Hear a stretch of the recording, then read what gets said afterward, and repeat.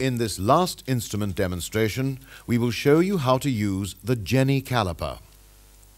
The purpose of a Jenny is to let you scribe parallel lines.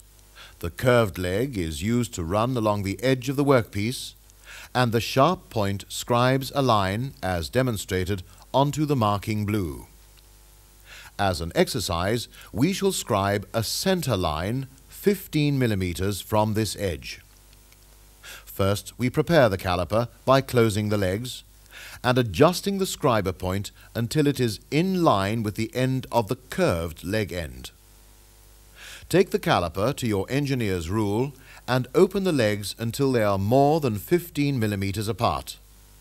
The curved leg must be kept against the straight end of the rule. To make a fine adjustment, hold the caliper as demonstrated and tap the curved leg softly to close the gap. Recheck the opening distance. Repeat the fine adjustment until the pointer lines up with the 15 millimeter mark.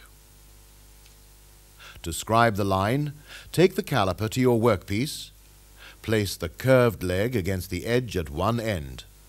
Lean the caliper, as demonstrated, and bring the point into contact with the workpiece.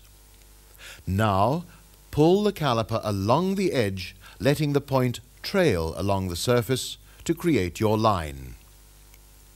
The line that you should make should be a thin, straight line. Let's take another look at this action. Angle the caliper, as demonstrated, in order to keep the point in contact with your work. Notice how the caliper should be held when used. Do not press the point into the work. Use a light pressure only to create a neat and easily visible line.